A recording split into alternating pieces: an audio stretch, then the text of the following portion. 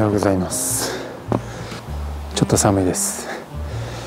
今日は森のガーデニングと称して あの森がどんな感じになってるかをねちょっと紹介したいと思います。で最近ちょっと紅葉ネタがね多いかなと思って。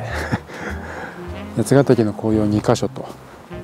今回この森のガーデニングで紅葉ネタやって終わりにしたいと思います。かなりねあの葉っぱも落ちているのもあるんですけど今が全盛期な紅葉を迎えてる木もあるんでいろいろ見ていきたいと思います。やっぱり紅葉といったらもみじですよね。ここのもみじたちは今紅葉真っ盛りですね。こいつが真っ赤でこいつがね真っ黄色。こいつはオレンジ色。ちょっと元気ないか。こいつは緑黄緑だ。色とりどりだな。もみじが真っ赤になるのはの緑の葉緑素があると光をね吸収しちゃって葉を傷めるらしいんですよ。なのでこうやって赤くなって葉っぱをね守ってるらしいですね。こんな感じ。でこっちは真っ黄色ですね。なんかね環境とか個体差によって色がね変わったりするらしいんですけど。まあ何が原因なのかはわからないですね。これは緑の色が抜けただけだとこうなるらしいです。イチョウとかみたいなのね。同じ。だからこいつは黄緑色だから色の抜け途中なのかな。この木も綺麗にね紅葉してますね。真っ黄色に。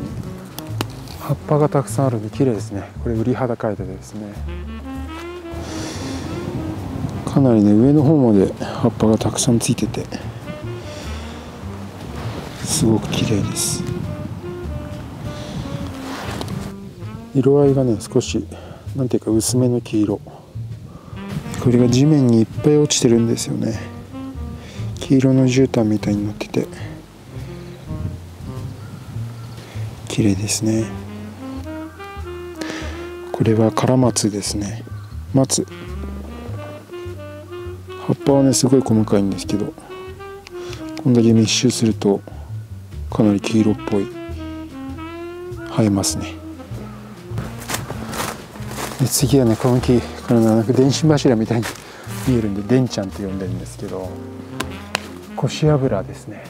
何メートルぐらいの20メートル近いのかな。この木はね紅葉というかね白葉をしてますね。漂白されたように淡い黄色の色になってる。白っぽいですよね。すごいこれがね光に透けて綺麗なんですよね。腰油。でさらにすごいのがこれも結構葉っぱが落ちてきてるんですけどこの地面がねこれも全部腰油の葉っぱで埋め尽くされてて白い地面になってます。あの辺はもみじ系なのかな？赤い葉っぱですね。こっから白い。でねこの腰油ねちょっと葉っぱの落ち方が不思議な感じでこんな感じでね5枚セットで落ちてくるんですよ。うちわみたいな感じで。これがもう大量ですね。あんまりこの色の紅葉って見ないです。葉っぱも結構手のひら大ぐらいの大きさはありますね。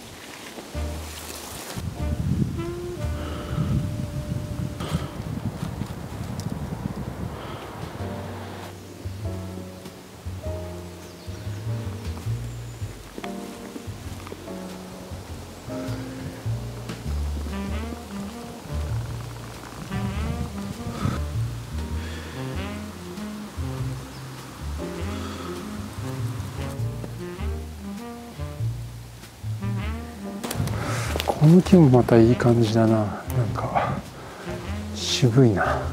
このね木の葉っぱのこのなんていうか水彩で染めたみたいな。ぼかし具合がいいですね。この木は男用染め。あここもなかなかだな。こいつはコナラか。コナラも黄色くなってる。ここの地面すごいな。これはこいつか。振り肌カエデか。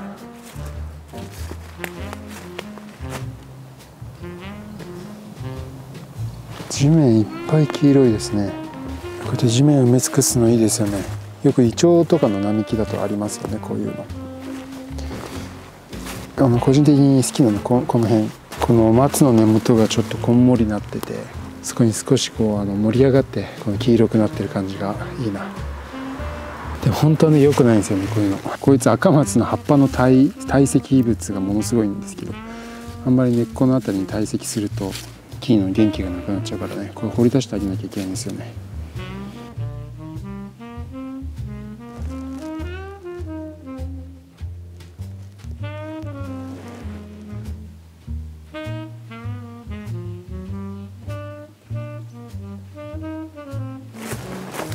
これまた良さそうなのがあるな。これは何だ？まずこの手前のちょっと黄色に赤い血が。あ取れちゃった。すごいこれはまたちょっと変わった色づきをしてますね。こいつは売り買いでかな。で奥のやつは？これはこれはコミネカエデかな。さっき腰油のところでめっちゃ落ちたやつですかね。いい色づきしますね。オレンジピンク。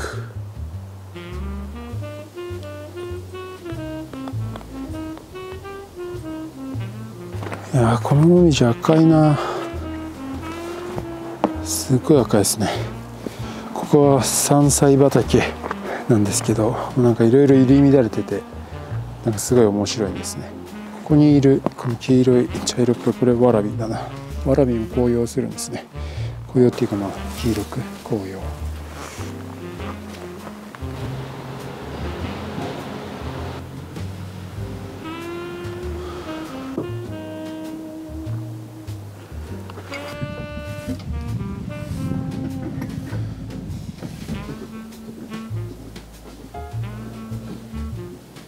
ちょっと自生のやつばっかり紹介したんですけど植えたやつで紅葉してるのがあります。ここにいるやつでね。見せ場屋なんですけど紅葉するっていうことで秋になったら綺麗だろうなと思って植えてたらあの鹿に食べられちゃって葉っぱがすごい小さくなっちゃったのよ全然生きてるんですけどこれがね紅葉してます。これなぜかわかんないけどこいつだけ真っ赤なんですよ。他はね緑なんですけどね。この緑のやつが全部真っ赤になったらすごいですねこれ。で紅葉関係ないんですけど個人的に可愛いなと思うのはこれ。この新芽。なんか花びらみたいバラみたいに出てきててすごい可愛いんですよ。小さいのもあったりして、どんどん成長していっぱい葉っぱつけてほしいですね。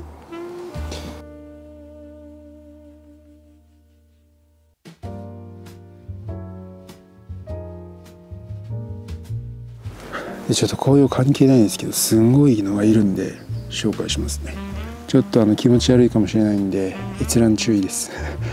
グロいとかそういうんじゃないです。普通に植物っていうか生物です。それがねいきますよ。キノコなんですけどこれ。でかでかっていうかありすぎ。どういう状況なんだこれ。ここまでいくとさすがに気持ち悪いですよね。ちょっとつっついてみますね。うわブヨブヨじゃん。すごっ。弾力性すごいなこれ。うわ。うわ。マジか。うわすっごい。うわ。このね中ちょっとさすがに見せないですけど気持ち悪いんで。この根元の方のね菌糸胞子菌糸か。すさまじいことになってますね。真っ白の綿がたくさんある。うわマジか。ちょっとさすがにこれはグロいな。ちなみにキノコは菌なんで植物ではないですね。というわけでね今日は森の紅葉の紹介をしてみました。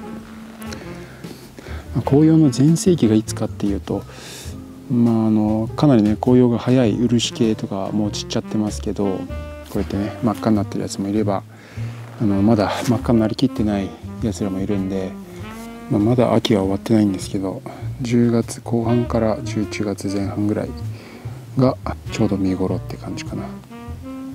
ここから冬に突入するんで葉っぱが全部落ちてスッカスカのね森になっていくんですけど まあ森でどういうことをやろうかな。していろいろね考えてやっていきます。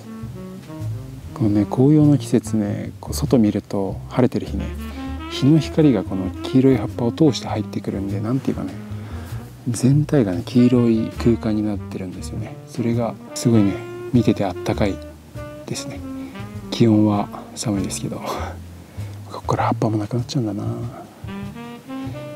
冬は冬でねあのいい雰囲気の時も結構あるんでそれを楽しみに長い冬を迎えたいと思います。今日はこんな感じで紅葉をねやってみました。標高の低い都市部の方だと今から紅葉真っ盛りっていう感じなのかな。自然公園とかねすんごい綺麗なところもあるんでねコロナっていうのもありますけど外に出て紅葉でリフレッシュ。すごくいいんじゃないかな。何を言ってるんだ僕は。いや今日はこんな感じで終わりにしたいと思います。じゃあまた次の動画でお会いしましょう。